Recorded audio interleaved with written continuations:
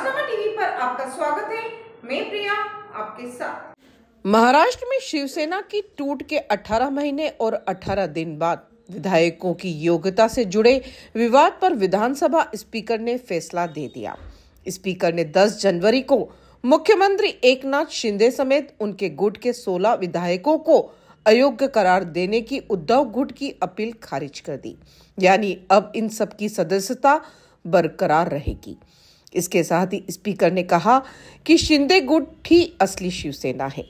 विधानसभा speaker Rahul Narvekar ने बुधवार शाम को पाँच बजे से कुल छह बजकर सत्तावन मिनट तक, कुल 106 मिनट में 1200 पेज के फैसले से चुनिंदा अंश पड़े सुप्रीम कोर्ट ने 14 दिसंबर 2023 को इस मामले में आखिरी सुनवाई की थी।